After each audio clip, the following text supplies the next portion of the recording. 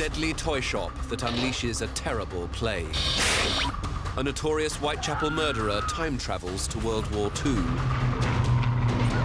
The strange disappearances that give birth to the Bermuda Triangle. And the macabre mummies of Skeleton Lake.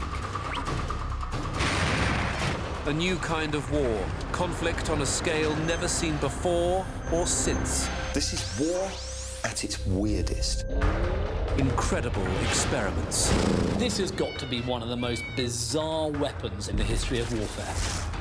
What is even crazier is it seems to work. Mysterious events. It does sound crazy, but we have eyewitnesses that claim that's what happened. Unexplained phenomena.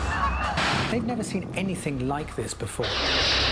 When a world goes to war with itself, things get really weird.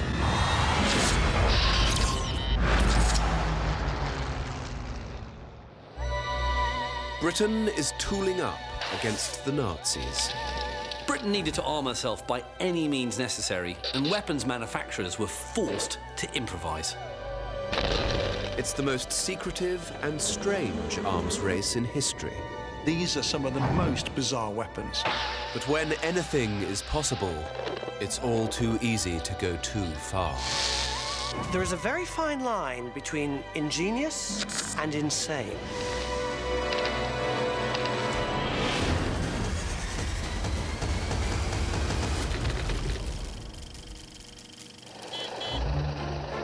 From canned food to duct tape, some of the world's most creative inventions are developed in times of war.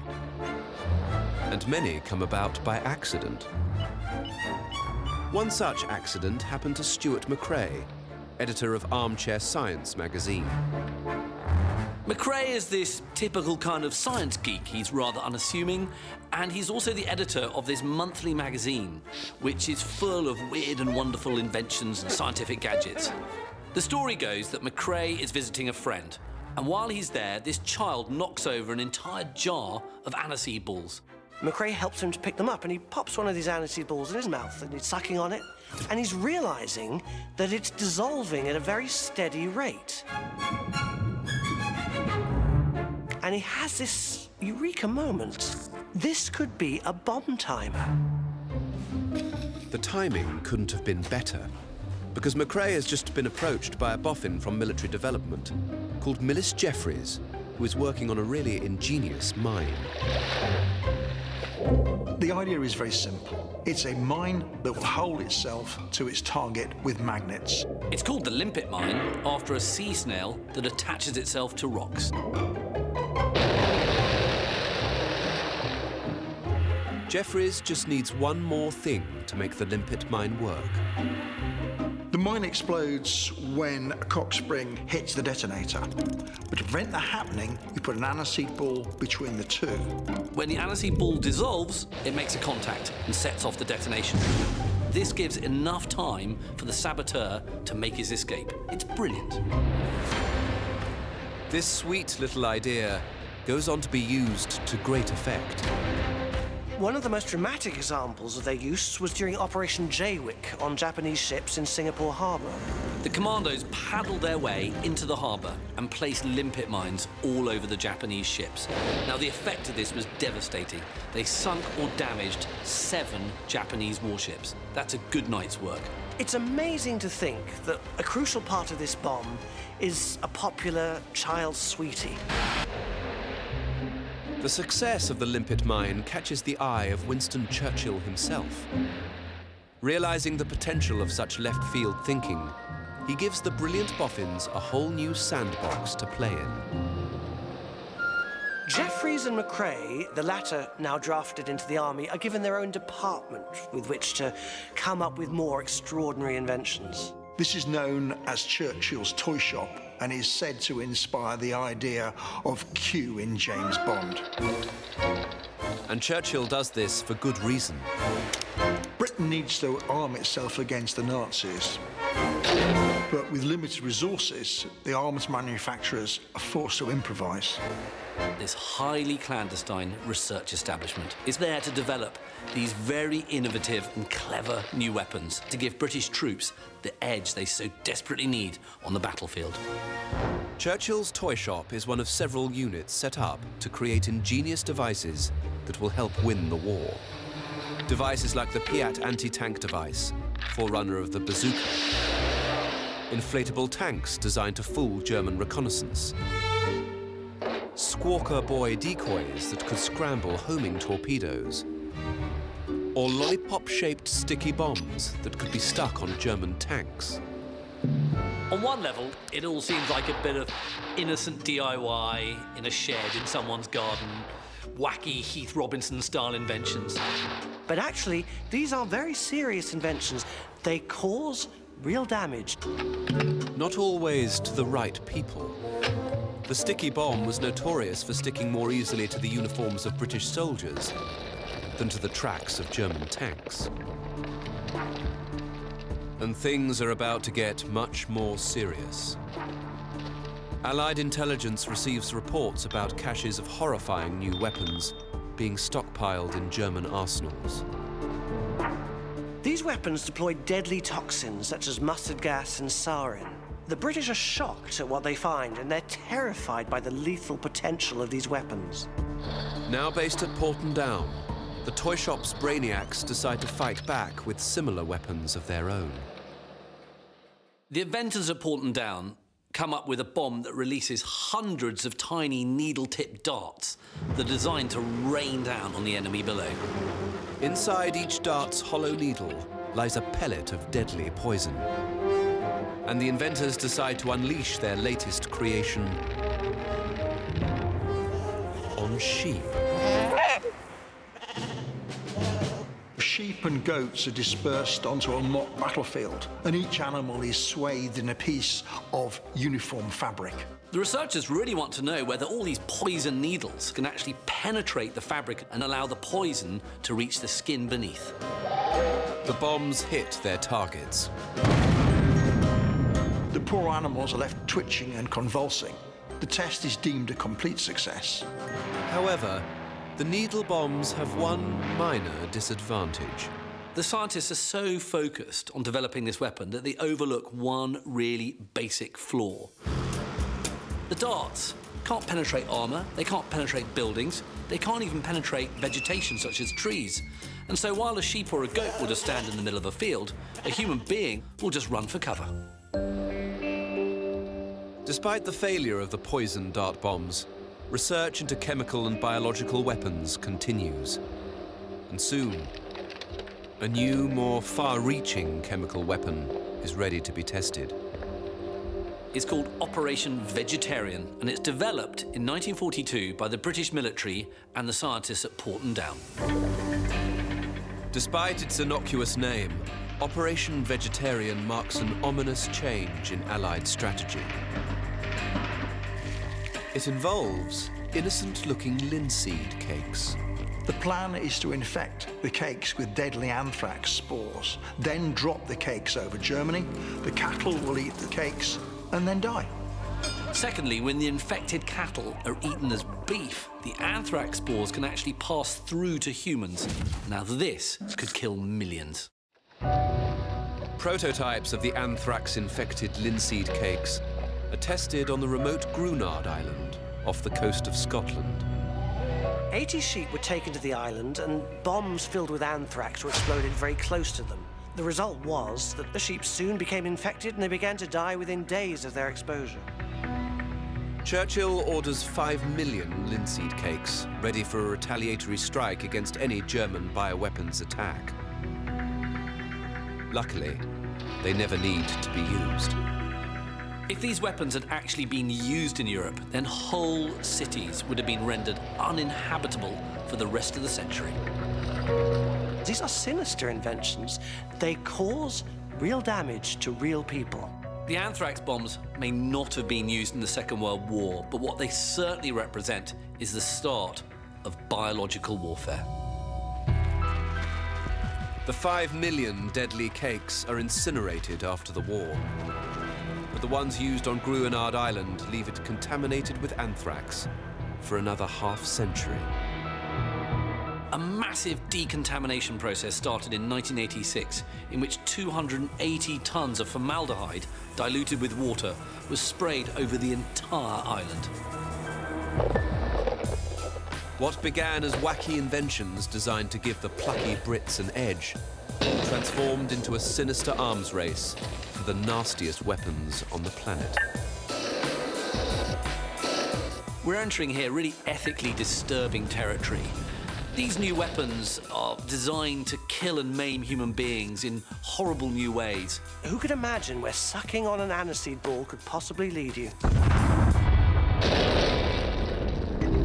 Coming up, a brutal killer stalks the blacked out streets of London.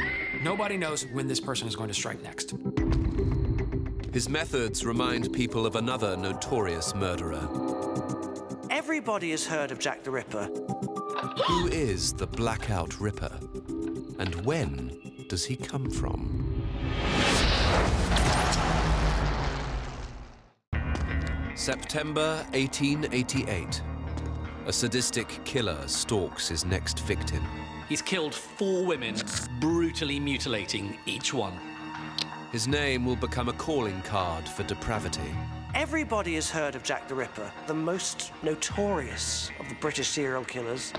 His reign of terror lasts for three short months. Then, after his fifth victim, he disappears. Nobody knows who he is or why he is committing these barbaric acts. Almost 50 years later, another killer stalks the streets of London. And as with Jack the Ripper, the women have been strangled and mutilated. Could this be the work of the same sadistic maniac 50 years later? Has Jack come back?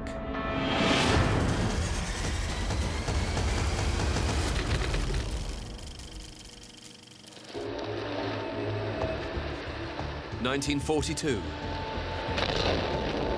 London endures a campaign of terror as the Luftwaffe bombards the city, destroying over one million buildings. Hitler is making good on his promises. German bombers are striking targets. 40,000 are dead. 100,000 are wounded.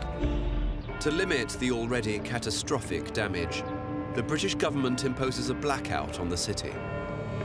Every evening, even before any air raid sirens sound to warn of impending raids, Londoners are ordered to turn off all their external lights. Street lights are switched off, car headlamps are covered, windows are boarded up. London is plunged into complete darkness. The idea of the blackout is to ensure that enemy bombers can't use lights from the ground to be able to navigate and drop bombs on targets.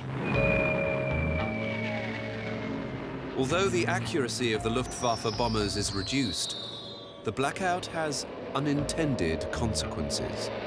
We've all heard stories about camaraderie during the Blitz, but what we don't think of quite so much is that it was an amazing opportunity for crime to flourish. There's an underworld that has come to life. It's opportunistically taking advantage of the wartime circumstances to carry out whatever other criminal enterprise they might conceive of. Crime levels went up significantly at this period, and that is because there was much more opportunity to commit crime.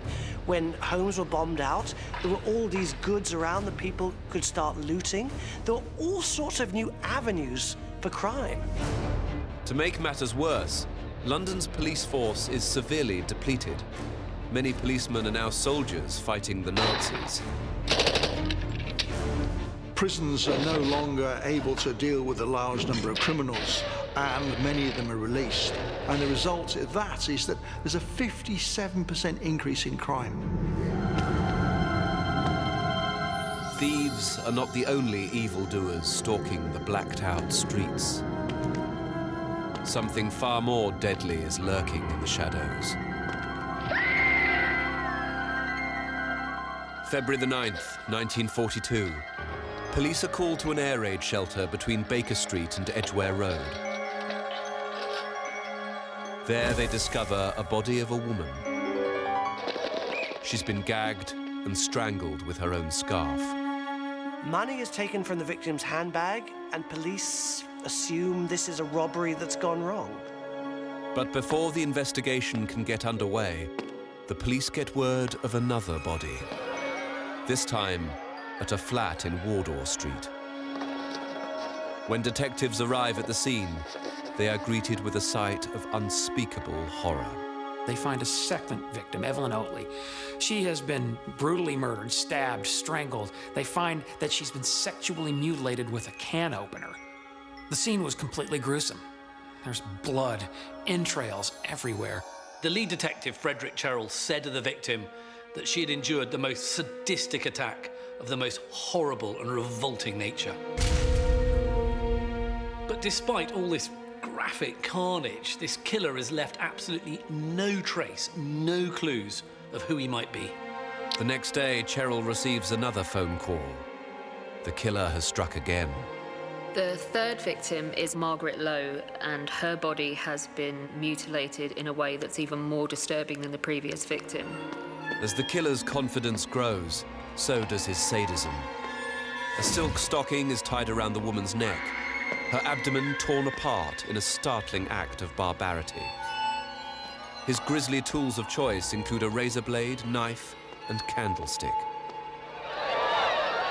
As Cherrill examines the mutilated corpse, a shocking realization dawns on him.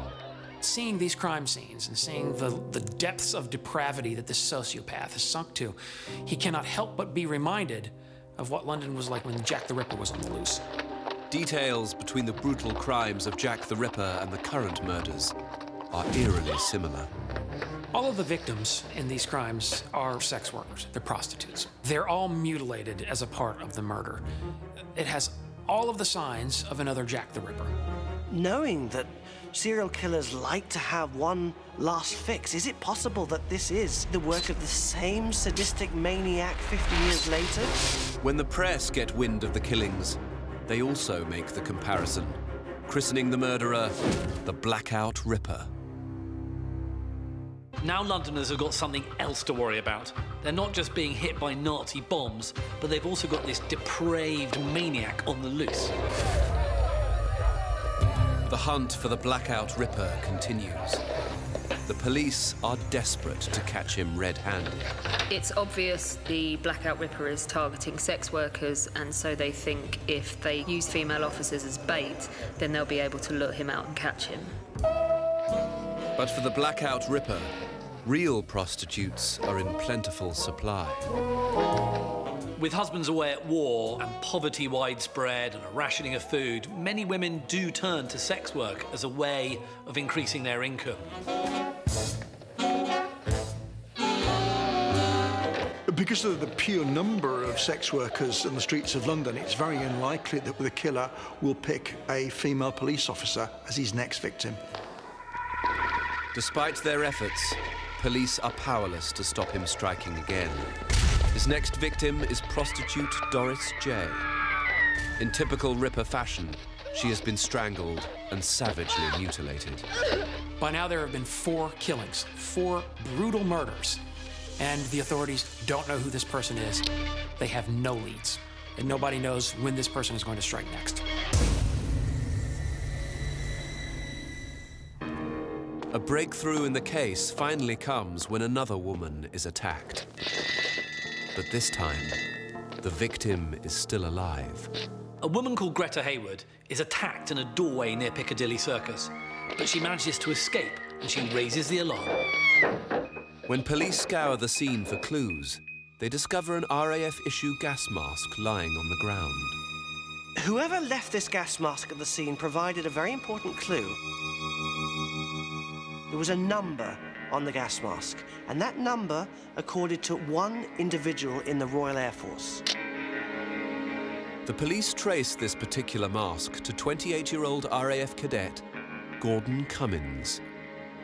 Cummins doesn't fit the profile of a serial killer at all. He's a married man, upper class, absolutely no history of violence whatsoever, and there's no explanation for why he has suddenly committed these crimes. When Cummins's fingerprints are cross-referenced with ones found at the scene of other victims, they are a match. Greta Hayward also identifies Cummins as her attacker in a lineup. Cummins is convicted and sentenced to be hanged. So Jack himself may not have returned, but his spirit clearly lived on. Cummins is too young to have been Jack the Ripper, but he does seem to have been inspired by him. In total, Cummins murders six women. This makes him more prolific than Jack the Ripper himself. But there's one difference. Cummins is caught. And unlike Jack, Cummins has slipped into obscurity, despite his despicable crimes. Everybody has heard of Jack the Ripper, but almost nobody nowadays has heard of the Blackout Ripper. I think it's because of the time he was living in. Death was something that people were living with on a daily basis. So here were just a few more unnecessary deaths. They didn't stand out. At dawn on June the 25th, 1942, the Blackout Ripper is executed without ever explaining the reason for his depraved rampage.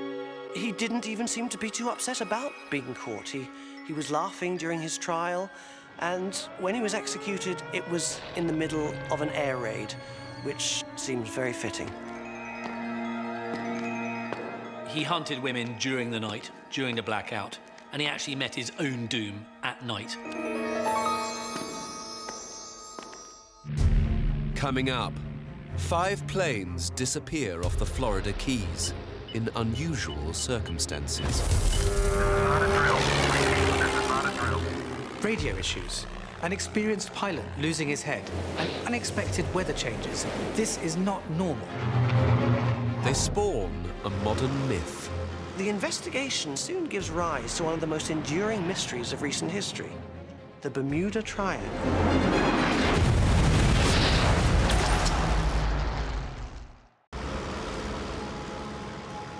A routine training flight vanishes into thin air. The bombers disappear off the radar, and they're never heard from again. A rescue plane disappears shortly after. Something weird is going on. Both of these air missions go missing. This gives birth to one of the most enduring legends of modern times. Within that area, mysterious things happen. Flights of aircraft disappear. Ships on the high seas disappear without explanation.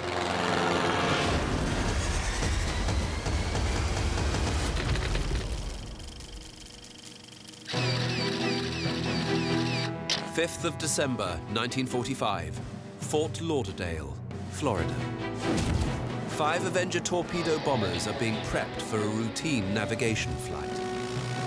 They're commanded by Lieutenant Charles Taylor. He's already completed one combat tour against the Japanese, clocked up two and a half thousand hours of flying, and that's largely in the Avenger aircraft, the one that he'll be taking out today. He's a safe pair of hands on an entirely routine mission. This is not a recipe for a catastrophe. But something isn't quite right. Taylor is not on time for the briefing, and he's reluctant to take on the mission. Taylor has a bad feeling. He reportedly pleads, I just don't want to take this one out. It's as though he's got some kind of premonition. He doesn't want to fly the mission, but he has a job to do, and he flies it anyway. 2 p.m. Lieutenant Taylor leads five Avengers carrying a total of 14 airmen. They set off on an exercise known as Navigation Problem Number One. Navigation problem number one is designed to teach dead reckoning principles. This enables you to try and calculate the position of your aircraft from its last known position. The first part of the mission is going according to plan. Each plane practices its bomb run and then turns north, heading for Grand Bahama. But the lesson is about to go spectacularly wrong. The men begin to observe unusual compass readings where aircraft within the flight and their compasses don't agree with one another.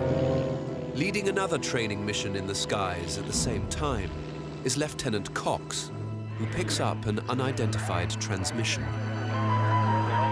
It's one of the students of Flight 19 being asked for their compass reading, and the voice crackles over the radio. I don't know where we are. We must have got lost after that last turn. Cox immediately radios back and asks the plane to identify itself, but he gets no reply. Eventually, after repeated requests, Lieutenant Taylor finally comes on the radio. Both my compasses are out. I'm over land. I, I think I'm over Florida Keys. I don't even know how to get to Fort Lauderdale.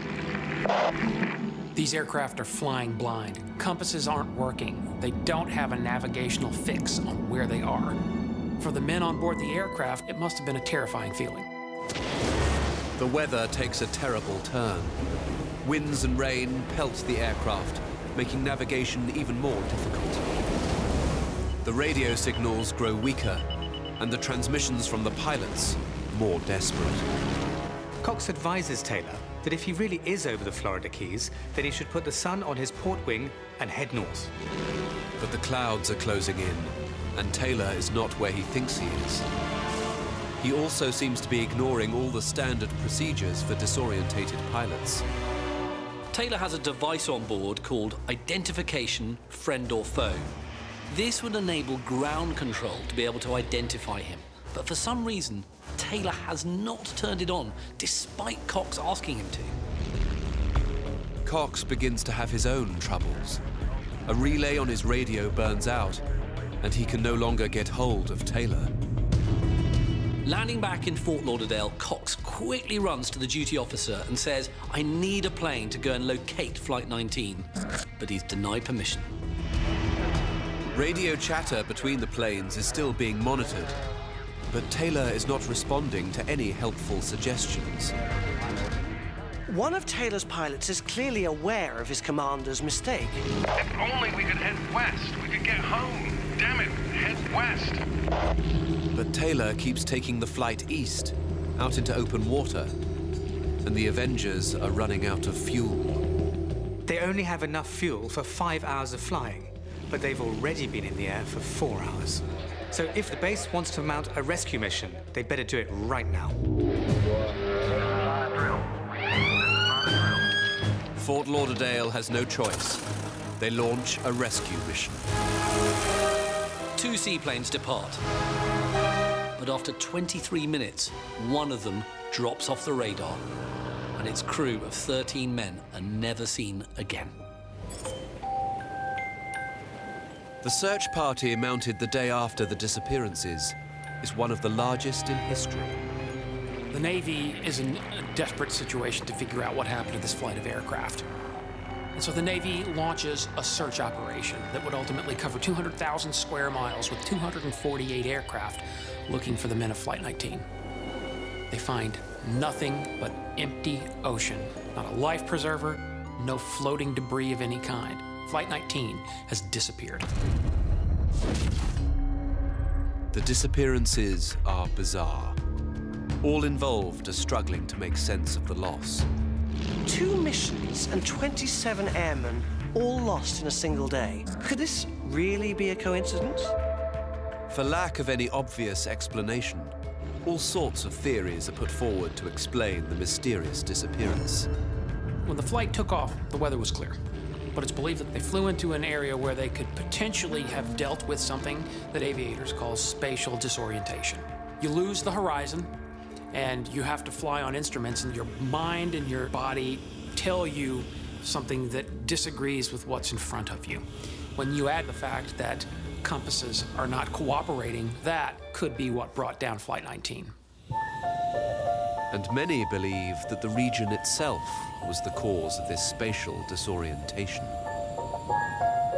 The investigation into Flight 19 soon gives rise to one of the most enduring mysteries of recent history the Bermuda Triangle. A disproportionate number of ships and planes disappear in this area on a regular basis. I mean, this has been known as far back as 1492 when Columbus was making his famous voyage and he noticed these strange magnetic anomalies in that area. These vanishings have repeated over the years. Radio issues, navigation equipment problems, an experienced pilot losing his head, and unexpected weather changes. This is not normal. It has led to speculations that there's something mystical, magic, and threatening going on in this triangle that runs from Florida to Bermuda down to the Bahamas.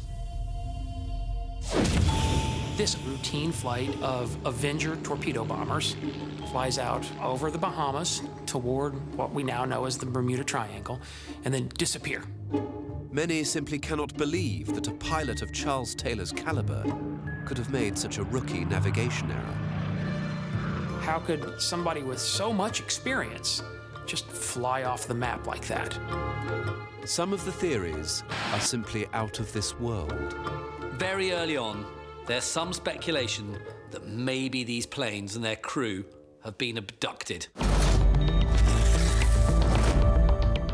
Without any other possible explanation out there, there are those that believe that they were simply abducted by UFOs. Over the following decades, the idea is fueled by the media. There was a lot written by popular writers and in fiction, on television programs, about these kind of abductions, and these speculations are very much informed by films like Close Encounters of the Third Kind. As a child, I was riveted by the opening scene where Spielberg chose to start with the sudden surprise reappearance of Flight 19 in the desert. But there is more to the Bermuda Triangle than simply aliens. Until today, many people believe that weird paranormal forces operate in the area. Only recently, there have been a couple of unexplained incidents. In 2017, a private plane was at 24,000 feet when it lost contact with air traffic control in Miami. A mix of extreme weather conditions and strange, unexplained interferences seems to have been to blame. In the same year, a Turkish Airlines plane traveling from Havana to Washington was forced to change direction when it encountered weird mechanical and electrical problems en route. The area is also notorious for its violently freakish weather events. Could the five Avengers have fallen prey to one of these? The area east of Florida is well known for its very dramatic weather patterns. After all, this is a place where you get huge thunderstorms and very changeable weather conditions. We often hear about hurricanes and tornadoes in this region, and of course, they have a devastating effect. Then there's the seaplane that was sent out to help Flight 19, which also mysteriously disappeared. Or perhaps not so mysteriously after all. The PBM Mariner aircraft was known as the flying gas tank because it had these huge tanks that gave it enormous range. Witnesses on a nearby oil tanker saw a huge explosion up in the sky at around the same time as the aircraft disappeared. And a little later, there was a big oil slick on the ocean. It looks very likely that Mariner simply exploded. Yet such a simplistic explanation cannot account for the disappearance of the five Avengers of Flight 19.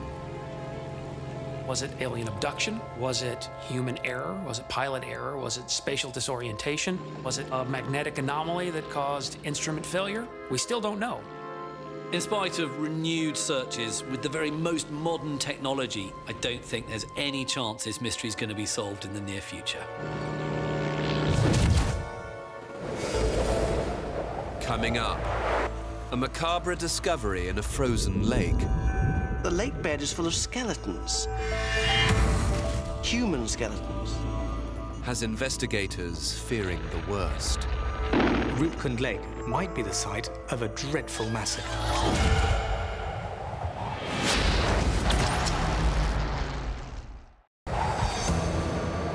A scenic lake holds a deadly secret. The lake is completely covered in bones and skulls. It's like something out of a horror movie. Is this the scene of some gruesome death ritual? These people might be the victims of some sort of terrible massacre. The locals believe it's the wrath of the gods. And amazingly, they might be right.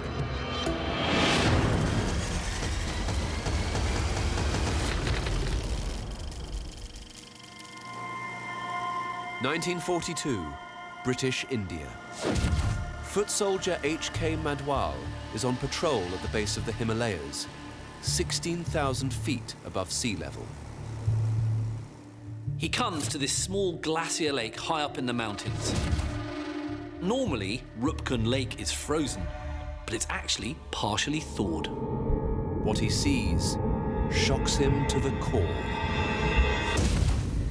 When he peers into the depths of the lake, he sees that it is full of bones and that there are skulls piled up at the banks. He sees that the lake bed is full of skeletons.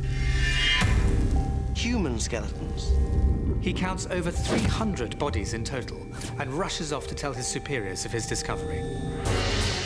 A British Army team is sent out to investigate the macabre mortuary.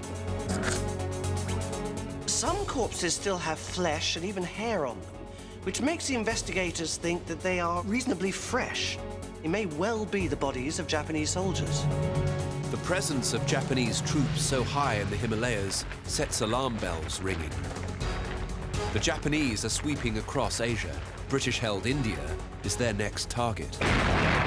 Their invasion plan is called Operation U-Go. Operation U-Go is the code name given to the attempted invasion of British-held northeast India. It's a really mighty assault involving some five divisions and nearly 100,000 men. Perhaps these mysterious mummies were part of an earlier attempt to bypass British defences by hiking through the Himalayas. This could well be evidence of some kind of surprise attack on India. It's a very unlikely spot to attack from. So it could be kind of a blitzkrieg move that would take the British by surprise. Now, it's quite likely that this group of Japanese soldiers had got lost in this very inaccessible part of the Himalayas and then simply starved and then froze to death. The area in which they found is at 16,000 feet. It's permanently covered in ice and snow, and at night the temperatures can drop as low as minus 20. The locals have a very different theory. They think the troops were killed by magic.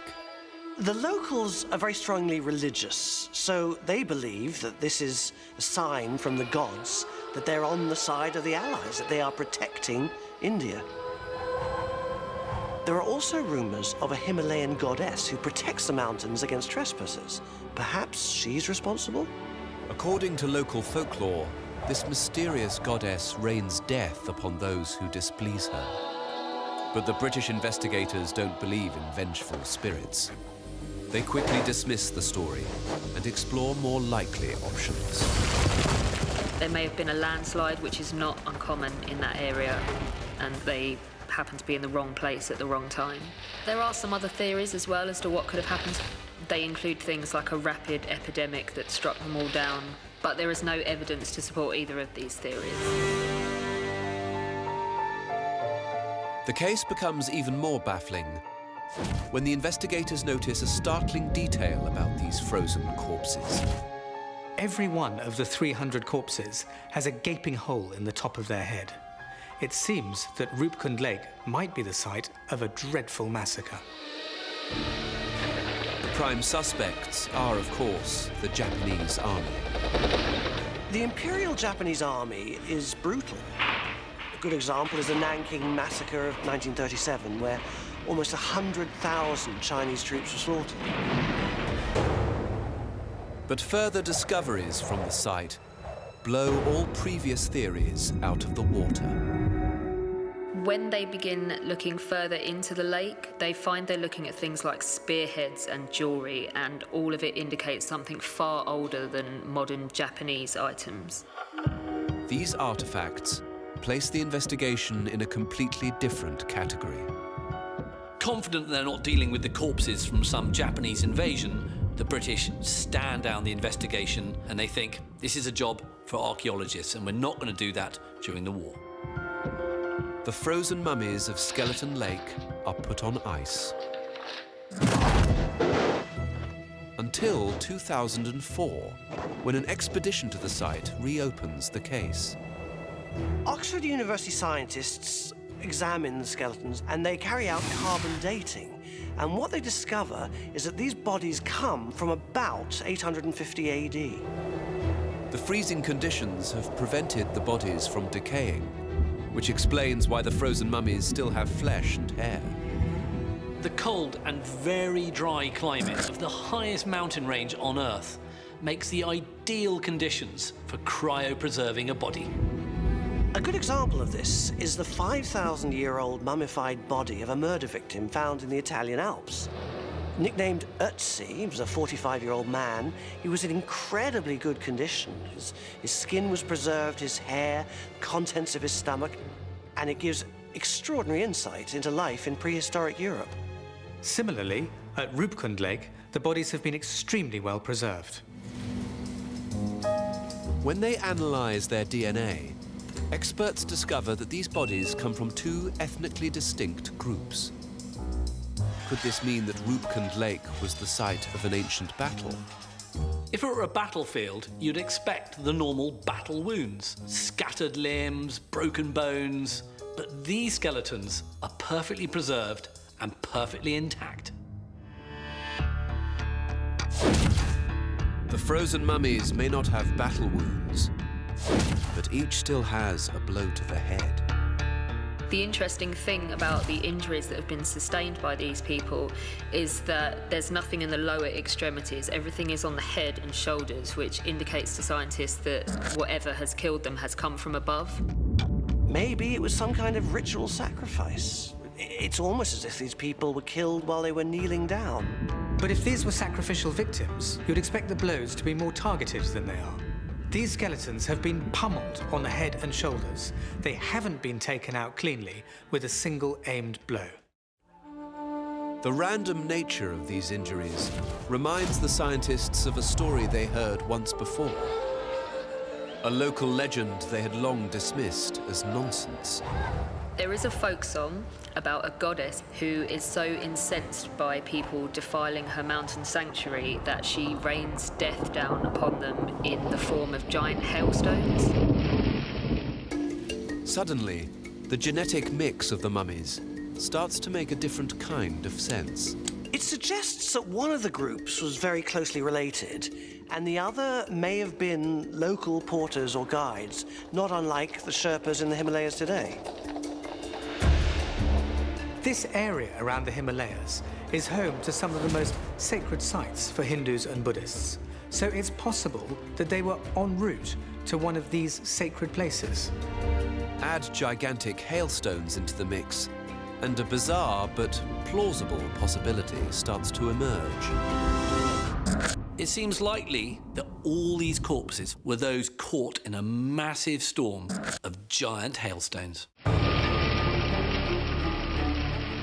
You're talking like the size of cricket balls, like rock hard. You've got to imagine all these people are trapped in a valley with nowhere to shelter. They are just left at the mercy of these giant hailstones. After they're killed, the bodies are covered with water, and that water then freezes. The bodies lay in Skeleton Lake for 1,200 years until 1942, and it's the icy and dry conditions in the Himalayas that preserve these bodies so well. Whatever transgression these pilgrims may have made, the locals were right. The goddess did exact her revenge upon them. This shows you again that the truth can be far stranger than any of the theories that preceded it.